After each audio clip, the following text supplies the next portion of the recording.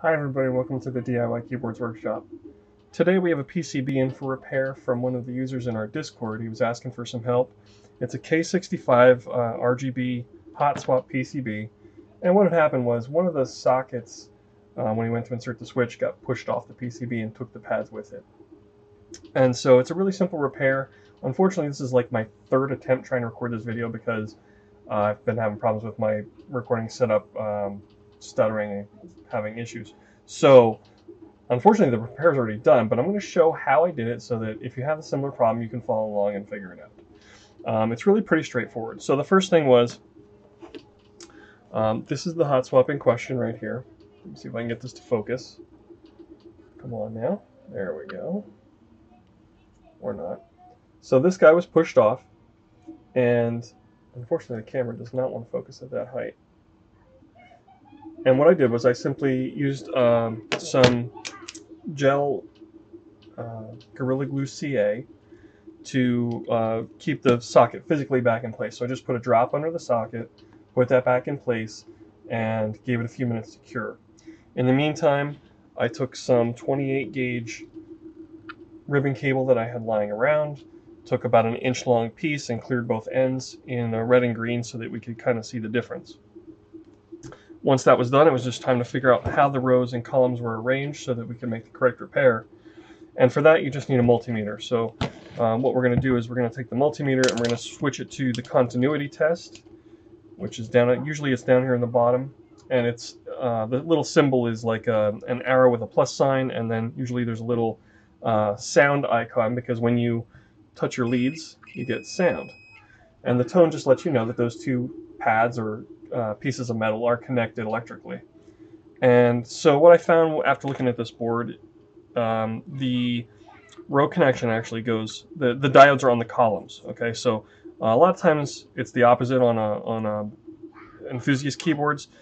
Um, but in this case, the, the way it's laid out, the hot swaps connect across the row on the left side, okay?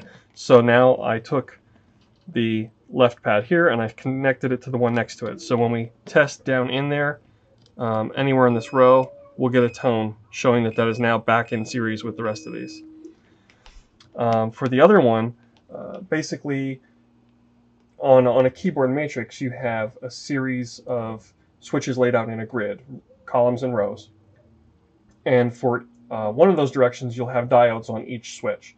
And so on this board, it's on the columns, and the output from the switch goes to the input side of the diode. Diodes are essentially a one-way uh, electrical gate that keeps the electricity from flowing backwards through the circuit.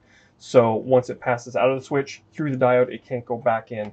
And that prevents uh, ghosting. When you press keys, they can't flow backwards through the network and um, cause problems.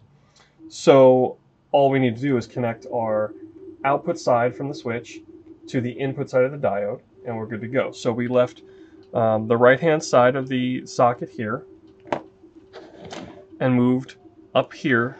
This is the diode for this particular uh, switch and it's on the left hand side right here. So we soldered right to that pad and now when we, we check there we've got continuity there but we won't get a tone on the other side of the diode because it can't flow back through that diode.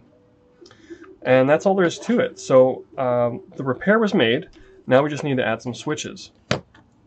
So what I did was I took a few um, Gateron Reds that I had lying around and I trimmed off the legs with a set of flush cutters.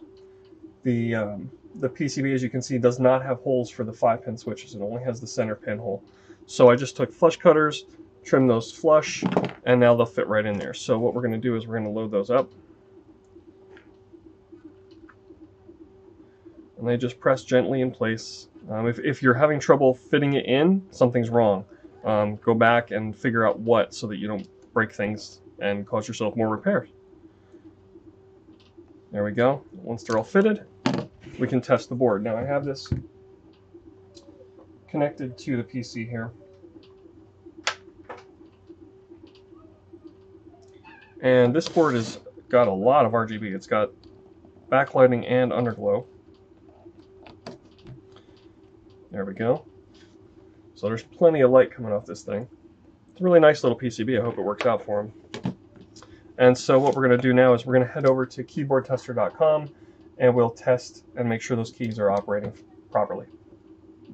Okay, so here we are at keyboardtester.com. If you've never used it, it's a simple online tool that lets you test your keyboard and make sure everything is functioning as required. Um, basically, when you press a switch, uh, it'll highlight the switch, make a little click sound, and then that switch will stay lit so you can see which ones have operated properly and which ones haven't. And here, uh, switch number one, the, the one key was our one that was in question. So we're just going to go ahead and tap on that. and there it fires off no problem. Two works, escape works. So it looks like everything is operating correctly and the repair is finished. So uh, hopefully that helps somebody. Um, that's a pretty common problem. The, the, PCB pads are not really all that strong, and if they take a good physical hit, they tend to pop right off. So um, if you do have that problem, you know, it's a simple fix. Just takes a few minutes a little bit of patience. You'll be back in business. If there's uh, any questions, be sure to let me know. And you can always come to our Discord and get some help there too. There's a lot of guys there willing to help. It's been a really great resource for a lot of people. Thanks a lot for watching. I'll catch you next time.